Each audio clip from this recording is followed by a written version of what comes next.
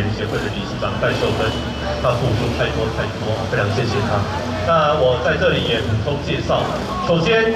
因为有太多我们北投区的里长也在现场啊，因为刚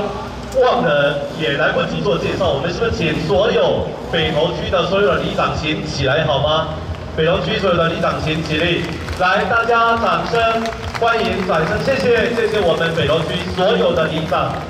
哎，所有的里长，谢谢哦，因为来不及的来再做报告。另外，我们台北市的市议员汪志斌汪议员也到了现场，还有林瑞图议员的办公室史主任，还有这个林慧芬林参事啊，我在这里做补充报告。好，接下来我们赶快进行下面一个很简单隆重的一个开幕式，有一个开幕式啊。那